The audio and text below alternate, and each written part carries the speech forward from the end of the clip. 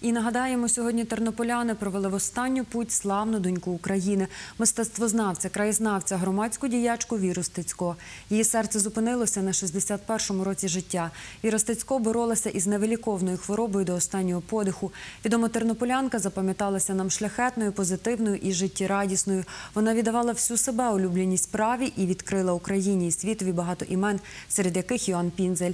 Пані Віра завжди була відданою своїй професії та улюбленій справі, тож пам'ять про неї залишиться у наших серцях.